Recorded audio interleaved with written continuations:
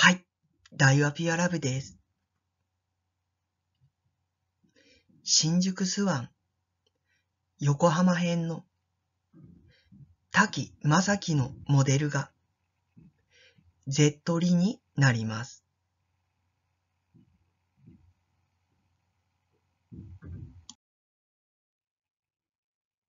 こちらになります。実物の Z リとも非常に似ています。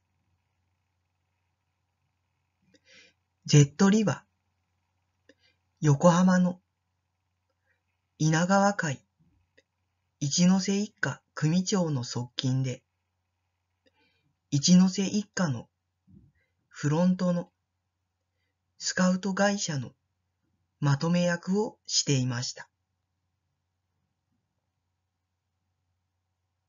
新宿スワンの滝正樹と同じく神奈川県警を傘下に収めて横浜を牛耳っていました。新宿スワンでは滝正樹は一ノ瀬一家組長とトラブルになり最後は、達彦とやり合っていました。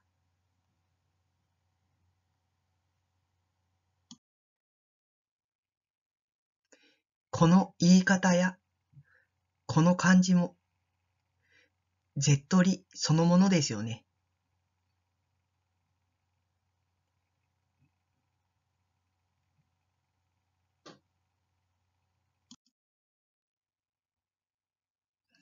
滝正樹のモデルの Z リは、一ノ瀬一家組長とトラブルになり、横浜を追われて、新宿の歌舞伎町に疎開をしました。そこで、関東連合、住吉会、公平一家とつながり、新宿疎開を立ち上げています。Z リの後を受け継ぎ、一ノ瀬一家組長の側近となり、横浜を牛耳っていたのが、天野さんでした。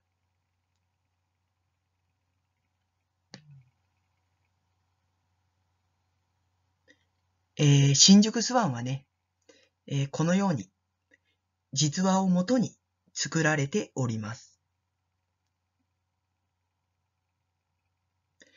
ご視聴いただきありがとうございました。チャンネル登録、高評価、よろしくお願いいたします。ありがとうございます。